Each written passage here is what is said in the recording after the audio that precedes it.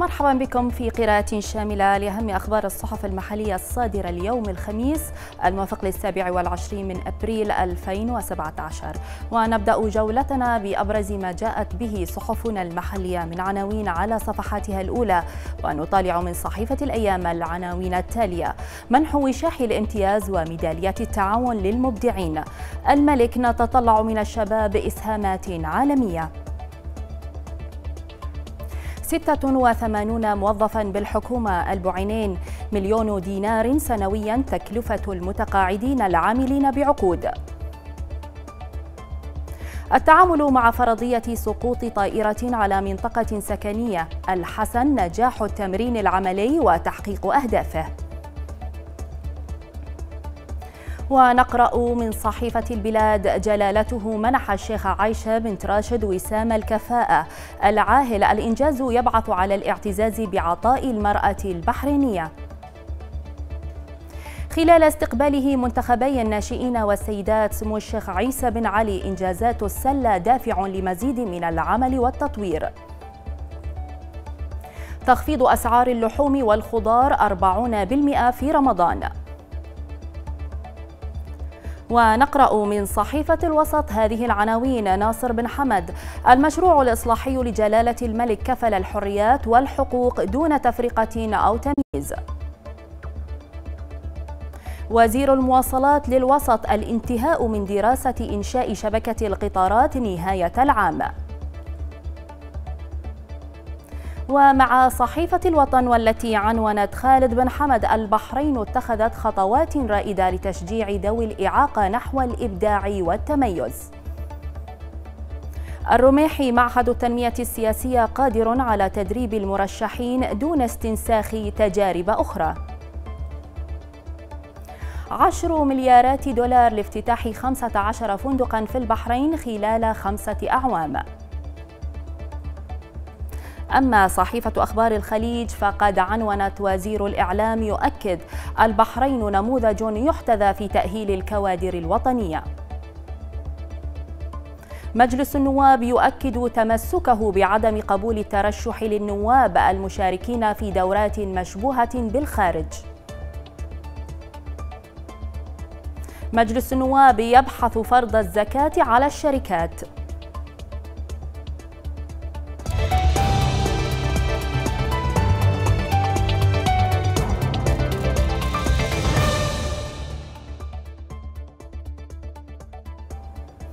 نبدأ مع صحيفة أخبار الخليج التي لفتت إلى أنه تنفيذا لأمر صاحب السمو الملكي الأمير سلمان بن حمد آل خليفة ولي العهد نائب القائد الأعلى النائب الأول لرئيس مجلس الوزراء بتوزيع 4200 وحدة سكنية في جميع محافظات المملكة. حيث أكد الوكيل المساعد للسياسات والخدمات الإسكانية الدكتور خالد الحيدان أن وزارة الإسكان انتهت صباح أمس من توزيع شقق مشروع اللوزي الإسكاني. الإسكاني.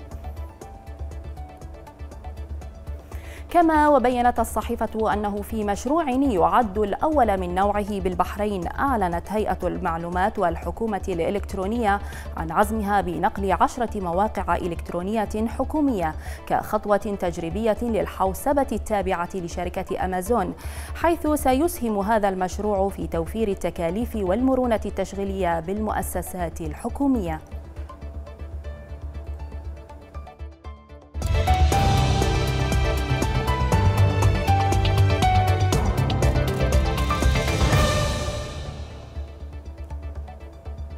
مع أهم أخبار صحيفة البلاد التي نشرت أن وزير شؤون الإعلام رئيس مجلس أمناء معهد البحرين للتنمية السياسية علي الرميحي أشار إلى إمكانيتهم على تدريب المرشحين دون استنساخ تجارب أخرى وأن البحرين لديها مؤسساتها الوطنية الفاعلة والمؤثرة في ترسيخ القيم الديمقراطية.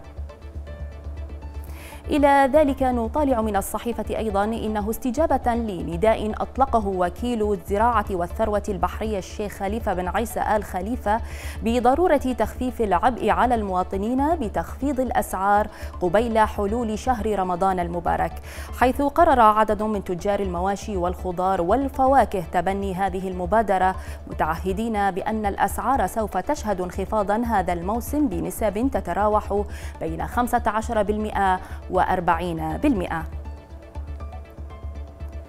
كما ونشرت الصحيفة أنه تم أمس تنفيذ تمرين عملي تحت شعار وطن البحرين 2017 تضمن فرضية سقوط طائرة ركاب على منطقة مأهولة بالسكان حيث تم تنفيذ التمرين بنجاح.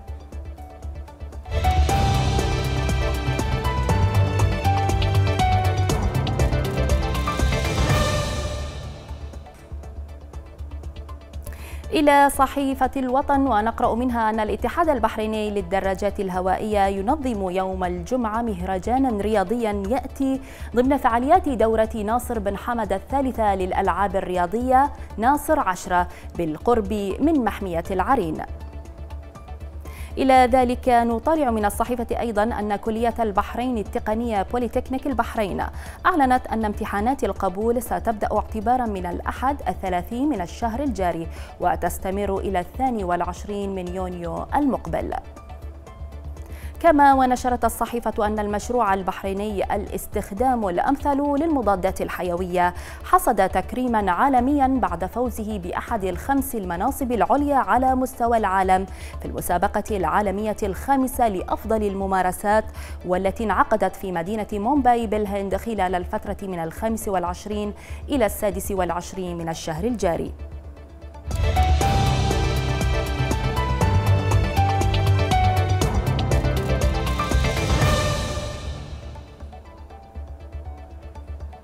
نتحول إلى صحيفة الأيام ونطالع منها أن تقريرا فصليا صادرا عن مجلس التنمية الاقتصادية بين أن قطاع الفنادق والمطاعم شهد نموا سنويا بنسبة 3% ويعزو هذا النمو إلى استعداد المملكة لاحتضان 15 فندقا من فئتي خمس نجوم وأربع نجوم ومنتجعات شاطئية بقيمة استثمارية تصل إلى أكثر من 10 مليارات دولار أمريكي خلال الخمس سنوات القادمة.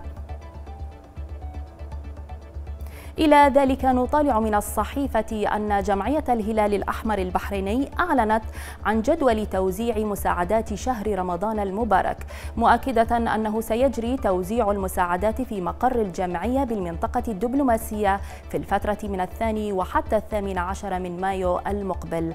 وأوضحت الجمعية أن المساعدات العينية والنقدية تشمل أكثر من أربعة آلاف أسرة.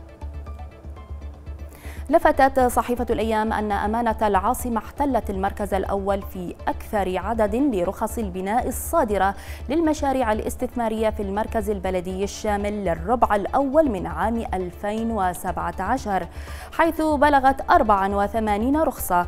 تلتها بلدية المنطقة الشمالية ب 77 رخصة ثم بلدية المنطقة الجنوبية ب 53 رخصة وأخيرا بلدية المحرق ب 52 رخصة.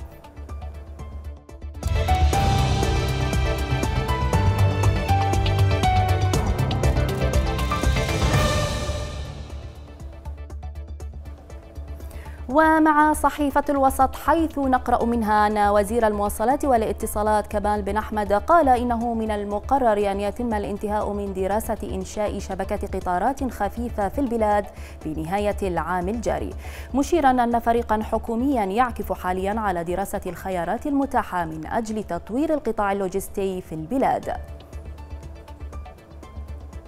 إلى ذلك نطالع من الصحيفة أيضا أن أعضاء مجلس بلدية الجنوبية وافقوا بالإجماع على إعادة هيكلة إجراءات بيع الزوايا من خلال آلية إلكترونية وذلك لتقليل مدة الانتظار التي كان في السابق ينتظرها مقدم الطلب.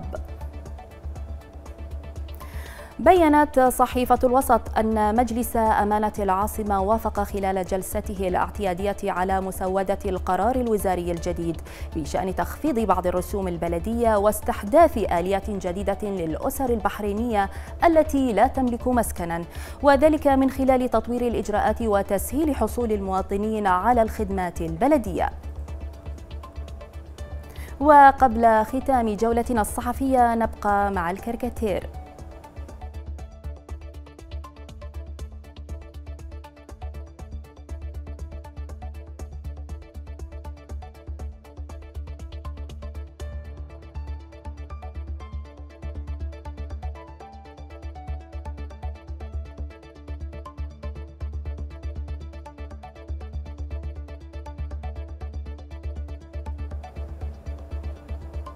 إلى هنا نكون قد وصلنا إلى ختام جولتنا الصحفية لهذا اليوم. شكرا لكم على حسن المتابعة وإلى اللقاء.